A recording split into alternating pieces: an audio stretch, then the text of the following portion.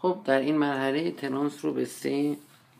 خازن SBB یک صدوم میکروفاراد نصب کردیم و سال اندازه گیریمون هم هست این میشه گفت که یکی از بهترین خروجی ها رو خواهد داشت البته برای مدت زمان کوچیکی این رو روشن میکنم به دلیل اینکه حجم گپ بسیار بالا هست و نزدیک 50 هزار ولت با همین سه خازن ما تقریبا خروجی خواهیم داشت